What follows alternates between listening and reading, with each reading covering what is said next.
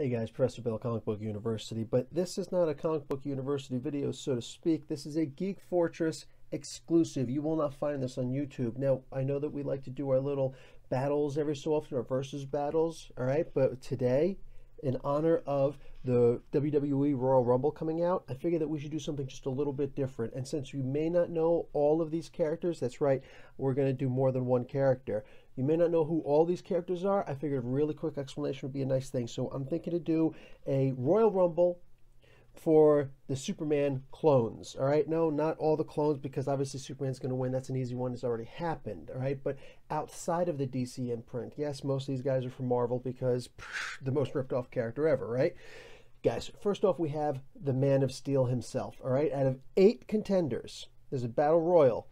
Superman, the Man of Steel himself. If you don't know him, you obviously have not read a comic in your life. It's not that big of a deal, but for the most part, you know who Superman is, right? Next, we're going to do Hyperion. Now, this is often considered the greatest of the Superman clones, the ripoffs, all right? Uh, originally of the Squadron, Squadron Supreme, uh, more specifically the Squadron Sinister, and then later the Squadron Supreme. He was just supposed to be an evil version of Superman that didn't look like Bizarro, and he wound up becoming beloved uh, under Mark Gruenwald and the like. He is an absolutely amazing character with a backstory that I would say, even though Superman's is the original and that automatically gets props, the this story that he's got in itself is fantastic, absolutely glorious, and his history. If you've never read the 12 issue miniseries, limited series of Squadron Supreme, you are seriously missing out. It's in trade paperback form. I would highly recommend it. So we're going to put Hyperion. Just figured the exact same powers as Superman. He's got atomic vision instead of heat vision. Next, we're going to talk about Gladiator. If you've ever read a uh, what do you call it, X-Men comic, you know who Gladiator is. He's basically a purple Shi'ar Superman with a mohawk. his version of kryptonite is just his confidence. And almost nobody knows this, you know, but if you shake his confidence, he will slowly lose his powers as, you know, his confidence waxes and wanes. So he's a supremely confident guy, unbelievable. He, he fights for the Shi'ar Empire and anyone who is in the throne, even if it was there through uh, abdication or if someone came in and just usurped the throne. He he he follows whoever is sitting on the throne legally. So even if you overthrow, he's there. Uh, he's so ridiculously strong that he actually one time broke Hyperion's back. That's how strong this guy is. All right, stronger than Superman, depends, but probably more invulnerable than Superman as again, as long as his confidence is there. He may not be as strong, but he is arguably a lot more invulnerable than him. Maybe almost twice as invulnerable, but either way. Guys, next we're going to talk about Shazam. All right. Now he's in DC. He originally, when he was Captain Marvel, was not in Shazam. He was in National Comics. Uh, excuse me, he, the comic Whiz Comics.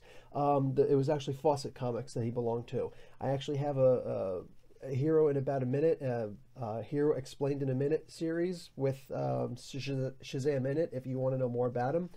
Either way, Shazam, he's got pretty much all the powers that Superman has, plus he's got the lightning abilities as opposed to, you know, heat vision.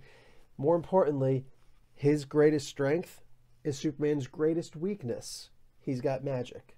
All right? Not his greatest weakness, but whatever. The idea that Superman's invulnerability doesn't apply to Captain Marvel because he just his very punches are magical. So completely bypasses his armor for the most part. As long as he's lightning induced. Oh, plus Superman has about a half resistance to lightning. So Captain Marvel is just he's up there. So next we're going to talk about the Sentry and how can we not talk about the Sentry? Right? A lot of people say this is the most Superman like. Not so. Sentry is more than just a Superman ripoff. All right, make no mistake, he is. He wouldn't be on this list if he weren't. But more than all of the same exact powers that Superman has, Sentry also has matter manipulation. All right, he's actually gone toe to toe with the Molecule Man in changing the molecular structure and composite of all things around him. He can solidify the air around someone if he wanted to, and he's also a little loco en la cabeza. This guy, when he loses himself. All right, his his biggest fear, his biggest weakness, is himself. He's afraid of losing control, and if he ever does lose control, here's the crazy thing: he becomes more powerful. And I'm talking. If I said only 10 times more powerful, it would seriously be limiting just how powerful he actually becomes. He becomes the void, and it's literally his dark side. So his weakness is technically his greatest strength, except he's going to feel bad and cry in a dark corner afterwards because, oh no, look, I've just destroyed several worlds. But that's how powerful the Sentry is. Guys, after this, let's talk about Mr. Majestic. Now, Mr. Majestic is basically exactly Superman, except that he is the the inverse. He's kind of like the Bizarro version of Superman. You know what? Let's even say he's more like Red Sun Superman.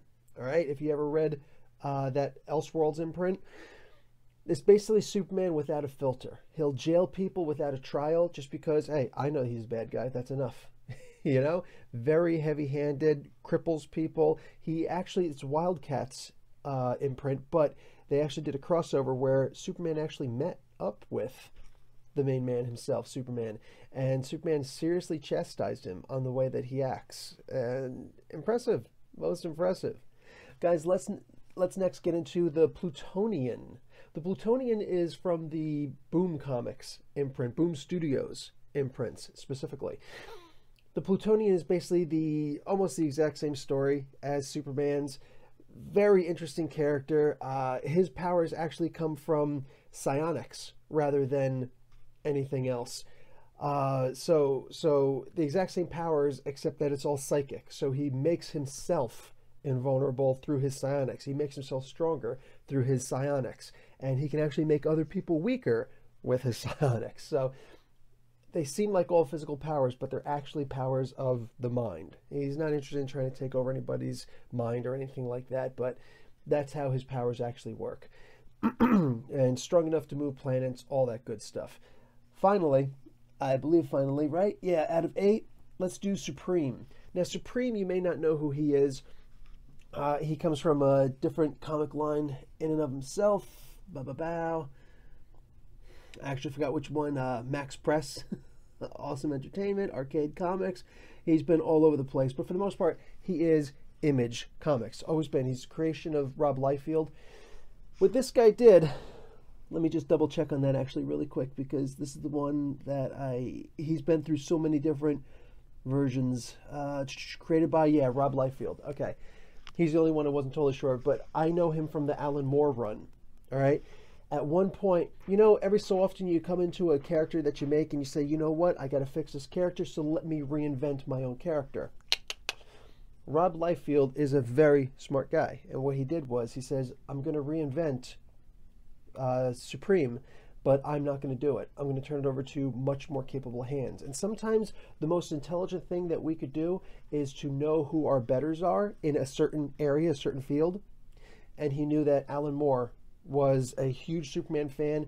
He, uh, with uh, whatever happened to the, the Man of Tomorrow, uh, that was the technically considered the last Silver Age comic ever written, even though it was way after Bronze Age. It was in modern age. But Alan Moore wrote the last Silver Age version of Superman because psh, that's who Alan Moore is, creator of the Watchmen, all that good stuff. So he turned the character over to Alan Moore and said, literally, take the character, do whatever you want to him. So with much commentary, he changed the origin and everything else, including the powers of the character, so that he is basically Superman, but you know, not. and I'm mostly putting him here because of the story, because the, the, the rich history. His biggest power is that he was recreated by Alan Moore. that actually means a lot, unless you don't believe so. So we've got these eight contenders all right and uh, below you're going to see the uh, what do you call it the poll all right? I want you guys to go ahead and take a look at this and i want you to vote all right? Everybody you can vote more than once why the hell not? You know what i'm saying? But this is going to be in tribute to the battle royal and this is going to be the battle for the day sunday. All right guys professor bill comic book university with a geek fortress exclusive class dismissed